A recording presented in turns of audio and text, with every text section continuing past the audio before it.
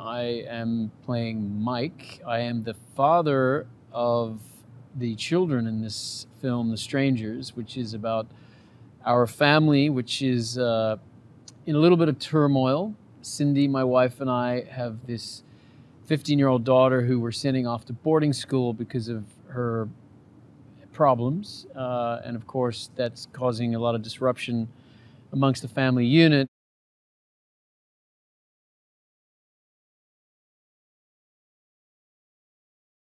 We spend the night in a trailer park uh, just close to where we'll be delivering our daughter the next morning. And shortly after settling in to our trailer, things start getting a little odd.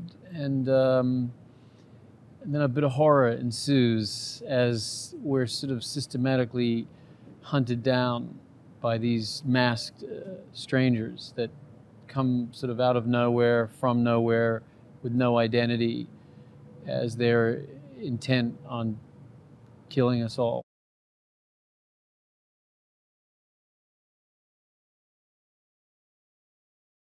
What struck me was just how how airy the atmosphere was after the first kill where you see there's nothing personal about this at all it's purely the the the stranger's joy of taking another's life and, and witnessing that and, and sort of observing it almost passively, which without sort of menace, without celebration, without uh, you know any sense of revenge or anything personal about it, uh, which I found you know horrifying.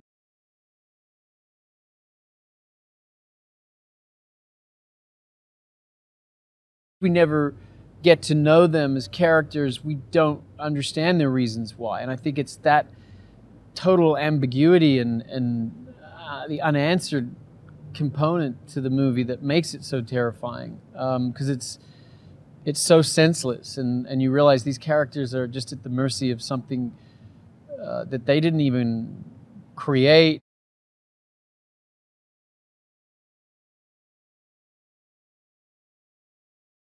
Johannes, eh, what I love about him as a director, he he's he knows exactly what he wants and he knows what the scene needs, but he's also loose enough about it that any suggestion of a line or if you want to play the scene a certain way, he's completely open to exploring how that might work. Hey horror fans, stay with me as I've got some facts from horror movies. Now in order to make Samara's walk as creepy as possible in the ring, they filmed her walking backwards and then reversed the shot. Now the skeletons in Poltergeist are not props, they are real human skeletons. And the real life Lorraine Warren makes a cameo in The Conjuring as an audience member while the character Lorraine Warren is speaking. What's your favourite horror movie? Let me know in the comments below and subscribe to our channel and check the notification bell to keep up to date on all the latest releases.